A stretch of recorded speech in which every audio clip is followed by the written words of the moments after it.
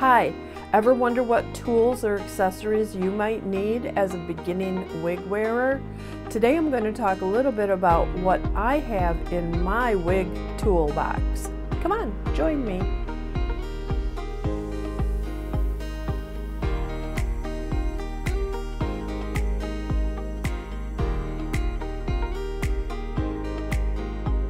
Hi, I'm Mimi with Mimi Wears Hair, and if Mimi can wear hair, you can wear hair too.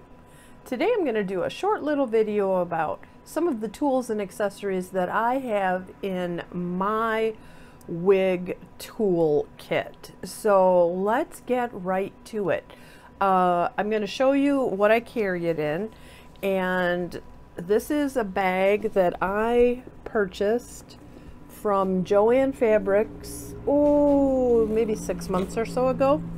And it has a lot of pockets on the outside. Uh, I got it on a 40% off coupon or something, and so it was really only like $12. And it really serves the purpose that I need for storing everything that I have. Uh, for my wigs. So I'm going to go through a little bit, not maybe not everything, but uh, first and foremost, brushes, combs, that type of thing. I have several different styles, uh, and some are for my bio hair, and some are specifically for my wigs. I know you're not supposed to vigorously brush a wig, but I do brush my wigs with this brush. It has very wide tooth um, spaces. It's very flexible and doesn't, it never gets stuck in a wig. It glides through nice and easy. And if I come upon a tangle that might be a little too difficult for the brush, um, that I don't want to stretch the fiber, I will switch to a comb. Uh, but this is my go-to brush for my wigs. And it is called an Infinity Pro from Conair. I've had it forever.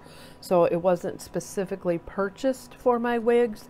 But I love this brush for my wigs. Okay. And then I have a regular brush I just use for my bio hair.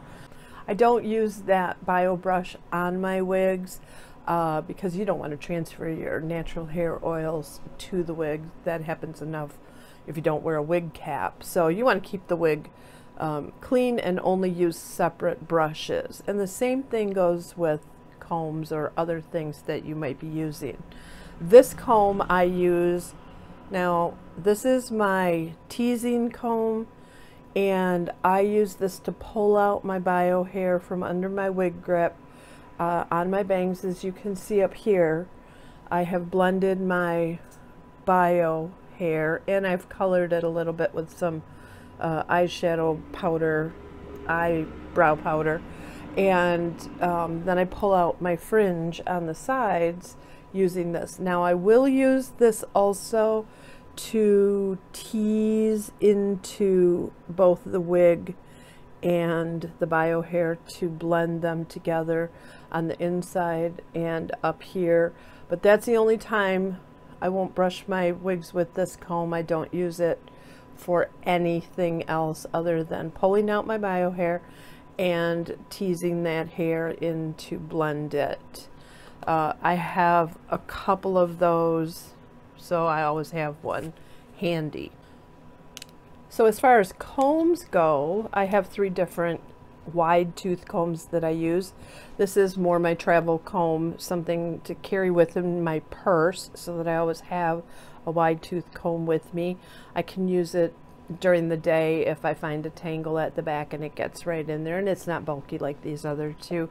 Uh, this one I use to break up after I've washed a wig and it has dried some of those clumps that get in there and get together. And then just my basic everyday really wide tooth comb to get through the the wig. So those are the three different types of combs all wide tooth uh, for my wigs. I have wig grips and I have several. Uh, I have them in several different colors and they're in the outside pockets of that toolkit. So I just keep those wrapped up depending on the color of the wig that I'm wearing for that day, depends on which particular wig grip I'm wearing. Today I have on the wig Lucy and I'm wearing a black wig grip with her. So Lucy is from Paula Young and she's in the WhisperLite uh, line and she is a 50, 51 slash 60A with the um, 1B rooting. So um, this is Lucy. I also carry a couple of toothbrushes. This one goes in my purse and it is a collapsible foldable one. And I'll use these depending to color the widow's peak and then to maybe tease up in here uh, if I don't have my comb with me, um, if it becomes undone or needs to be freshened up a little bit. So toothbrushes for coloring my widow's peak and blending in my hair. Next, I have a couple of adhesive, different adhesives. I have the It Stays Body Adhesive. Now, I have great issues with this. Um, I've only used it a couple of times. I don't, they say that sometimes it has an issue with the gumming up on the top. I haven't noticed that because I don't use it often enough, but it doesn't stick. It doesn't stick to my head. Uh, maybe it's because I have hair there. I have a low nape, so um, it doesn't stay on the hair. And I think because the wigs that I wear have more of that velvet nape type material and the velvet kind of front on these basic wig caps that it does not adhere well. So I this I bought this when I first started wearing wigs and I've only used about that much. So it's not something I use every day or use on the regular because it really doesn't work for me. But I do have these uh, wig tapes. Um, Walker No Shine tape adhesive, three inches, contoured. And these work pretty well. Again, um, that velvet on the wig cap doesn't really stick well to this. So by the end of the day, this is all kind of curled up and wrapped up into just a gummy mess. But um, sometimes, depending on where I'm going, I'll use them right up here in my uh, receding hairline area where I have no hair growing and cut them and use them there to secure the wig right here on my head so that it doesn't shift or move around. Sometimes I have some issues with my wig kind of creeping and I think that's due to the wig grip also slipping a little bit. But uh, other than that, that's the only adhesive I use. My wig grip is really my go-to to keep my wig secure on my head. A couple of other things I keep in my wig tool kit are these bags and inside I store uh, the claw clips that I use at the back for some of my longer wigs. And I don't know where the other two are but I'll have to find them and then I have this uh, I've made several of these. These are some crocheted uh, ha hair scarves that I use uh, when I'm working around the house, cleaning, that type of thing. Keeps my wig on out of my face, so I can uh, do that. This goes behind. Um, sometimes I'll take some of the hair and split it back there and then tuck this little piece under and um, that just helps to keep it out of my face. And then I have, this one has uh, all of my elastic hair bands for my bio hair that I might need any clips that I have and then I also have in here the eyeshadow eyebrow pencil uh, for coloring my widow's peak. So those are in these bags and they sit real nice right in the center pouch of the bag. And then we move on to kind of washing and uh, maintaining the wig itself. So shampoo I have, this is wig shampoo from Paula Young. Um, it works fine. I don't have any other experience with any other shampoos, but I've also tried and used the Dawn on my wigs and both of them work just as well. So I don't have any problems with Dawn bothering, changing the consistency or uh, the feel of the fiber after I've used it. And then I don't have a wig conditioner that I use regularly, but I do use Downy on my wigs and I let it soak not for a very long, maybe 10 15 minutes, and I'll use that. And then I use on some of my wigs the Armor All Protector Protectant. So those only I use at the very back nape of the neck where it tends to get tangly on some of those longer wigs like Lucy, my Misty, uh, that type of thing. And I use that very sparingly and just kind of work that down the fibers. And then I have, uh, this is Brandywine wig spray, which is like hairspray for wigs. Uh, I just use this around face framing to keep the flyaways and hair out of my face. And then I have, uh, whoops.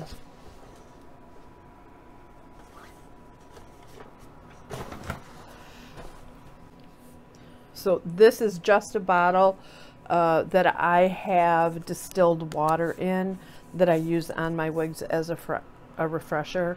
Um, I don't have a refreshing spray, but this helps to kind of tame some of the flyaways, just refresh some of those curls in the back, and helps me to work my fingers through and separate just distilled water.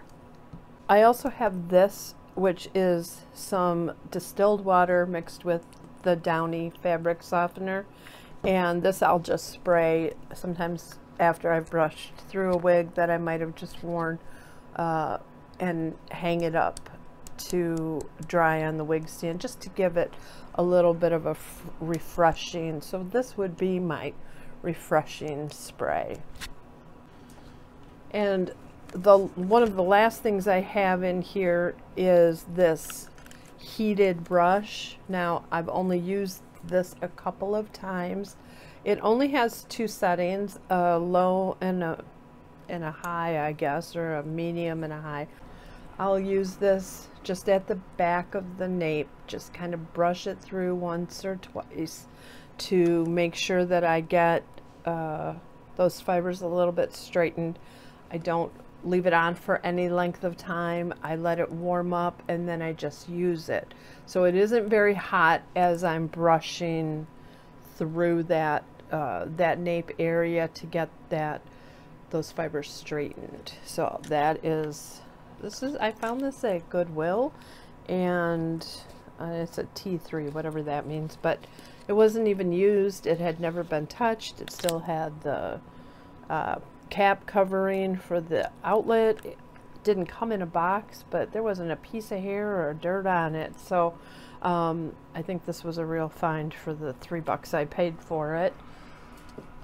And then I have one of those sleeping caps, kind of a hair bonnet.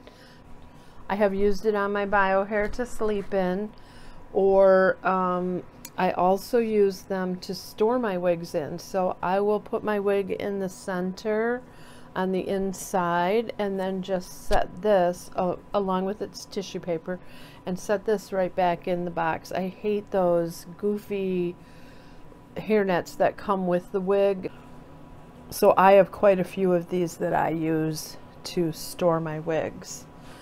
Uh, then I have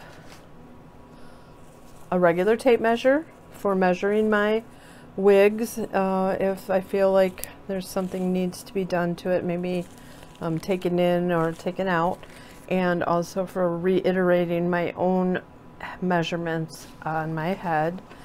So I have a little mirror. It has uh, magnification on one side and it's normal uh, viewing on the other and I just have that in there so I can get up close to coloring my widow's peak so I can see what I'm doing because I don't always have my glasses and it's difficult sometimes when I'm not wearing them to see what I'm doing. So the last thing I have for you today is this little case that has these little curlers in them. They're just soft covered pieces of wire with a little sponge in the middle. So I'll take these on, let's say like Lucy here that has some beachy waves at the back, and I'll just roll it up after I've washed it and um, let it air dry a little bit, get some of that moisture out, and then just twist it up and let that dry and remove them the next day and those curls and waves are revived and kind of refreshed back into the wig. So they don't use any heat or um, don't damage the wig in any way and it's just a great way that I've found to help to put some of that wave back into a wig. So that's all I have for you today. Thanks for watching. Remember to subscribe to my channel and hit that notification bell so you can be notified when I upload new content. Thanks again for watching and I'll see you soon.